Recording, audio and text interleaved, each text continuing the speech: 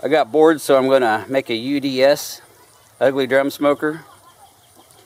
I bought a brand new barrel for $48 from a company in Kansas City. I could have got a refurbished one from them for 40 but it still had some dents. Or I could have bought a used one for like 12 bucks local here. But I figured I'd buy one, you know, I didn't want no dents in mine. It might not be a not so ugly drum smoker is what I'm going to call it. It did have rust inhibitor. It was all steel, no liner. You don't want to get one with a liner because then you have to really burn it out. But all it had was a light coating of rust inhibitor. I'm burning it out with oak for about an hour. Let it die down. Haven't even decided if I'm even going to paint it because all it did was kind of flatten the paint. It didn't really uh, blister it anywhere, so I, I don't even know if I'm even going to paint it. Here, I'll show you what I'm going to do with the lids so far. What are you doing, Mojo?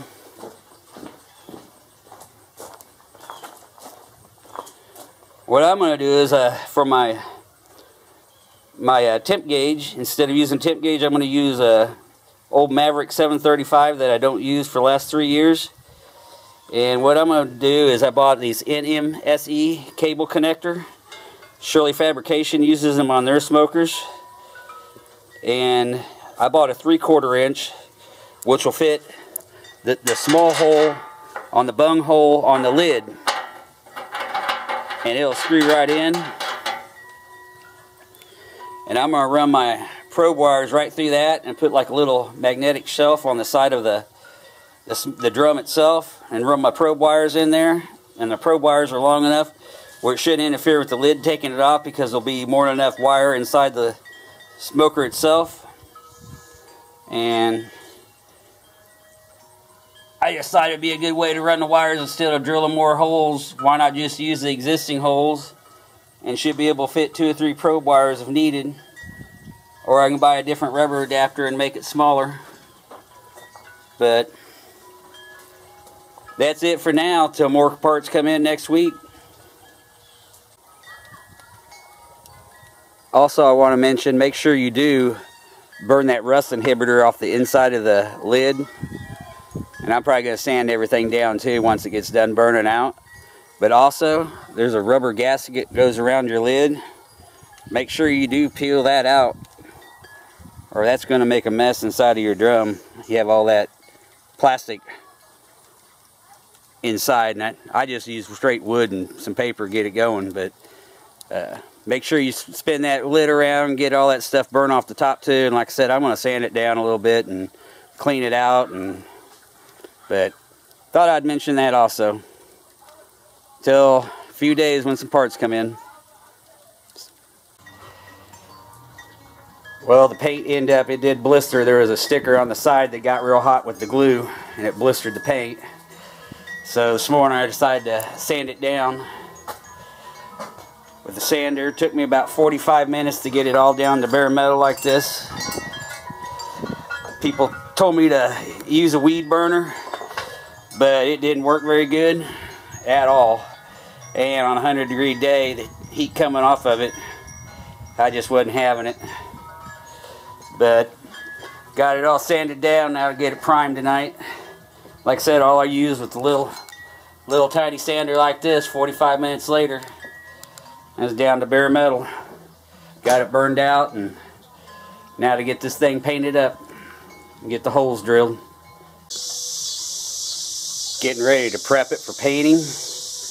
I wanted to go with the clear coat because I thought it looked pretty cool being chrome, but couldn't find no high heat chrome, so I'm just going to go with the semi-gloss. Got my bolts in for my top grate. Did them six inches down from the top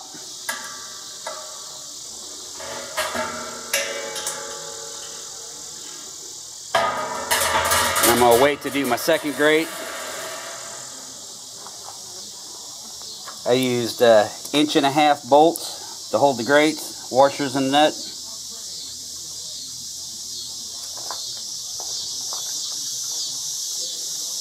I'm to get this thing uh, painted now before storms move in. Be back in a bit. Got the UDS done tonight Been working on it for about a week, off and on, in between work.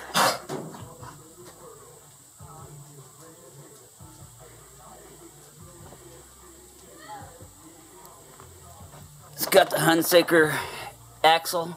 I think it's like 17 bucks, but it bolts on real easy. You just buy your 8 inch wheels from the hardware store. I got steel ones for the same price as the plastic ones.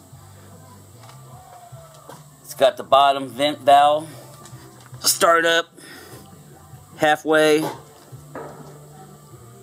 and fully closed.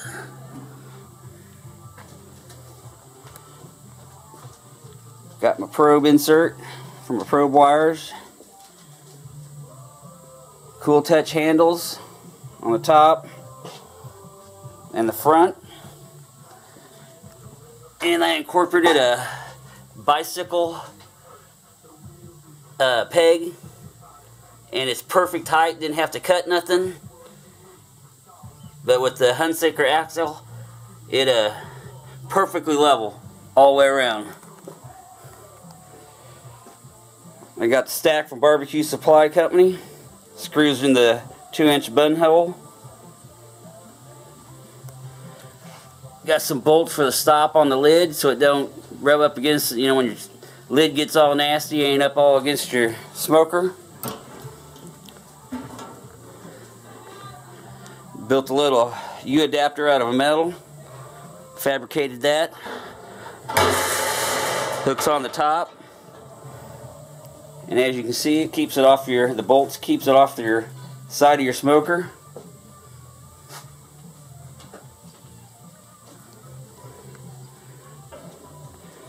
Got a top grate. I did it six inches down. And the second grate is six inches down from that grate.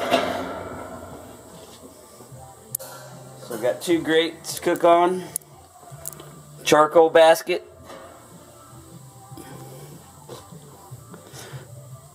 This is built-in ash pan. Put some bolts for legs for airflow from the bottom. And you can see the valve. And you can operate it with your foot real easily. Total wide open. Total closed. Real easy to install. They give you a diagram and you just basically drill your hole in the center first and then line up where you want your handle to go. tape it on where it goes. Drill your holes. It's idiot proof. I kind of think it'll be a better idea on the bottom. That way airflow from side to side when the wind's blowing it won't affect it as much coming from the bottom.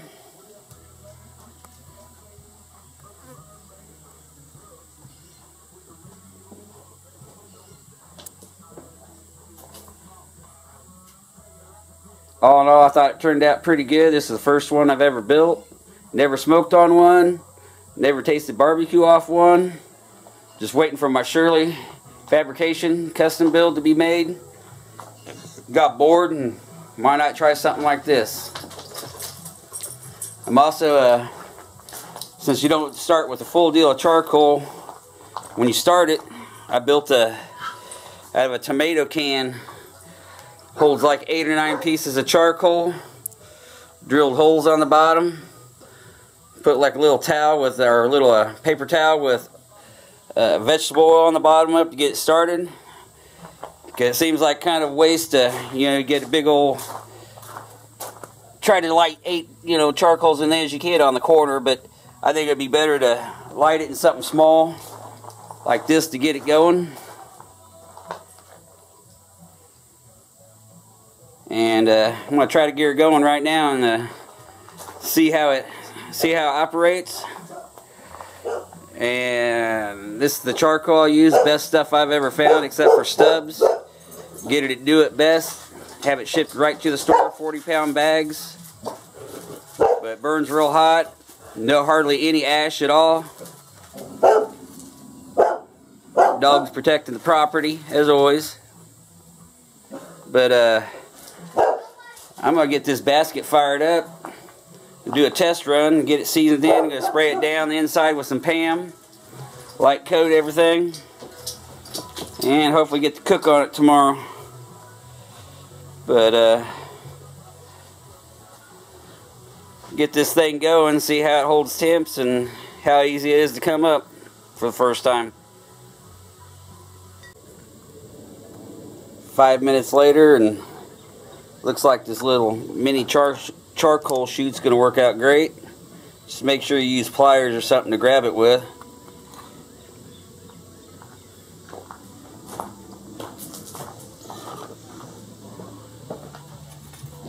In the corner.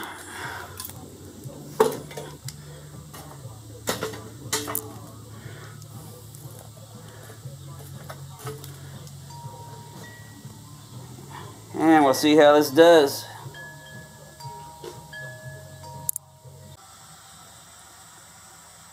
Fifteen minutes later, after starting it up, shut it down, shut the stack down to about a quarter way.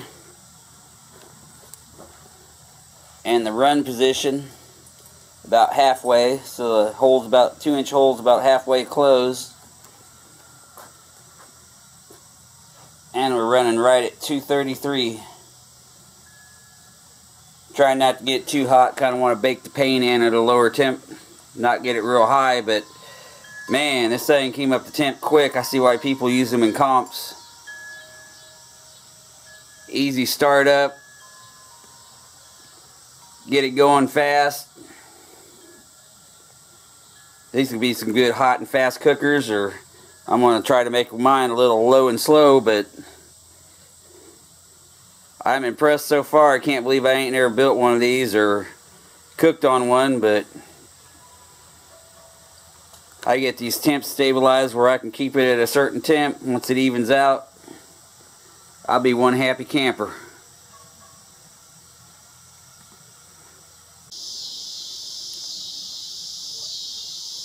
went inside for a little bit, watched the baseball game and a couple hours or so, and came back out, and it went from 233, 230 something to 249.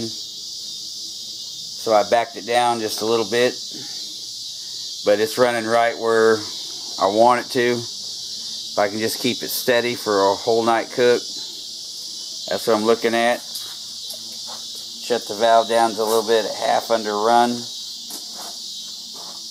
But just something I'm going to have to get used to doing. Controlling it a little bit different. It's different than a stick burner. So, but happy so far. Thanks for checking it out.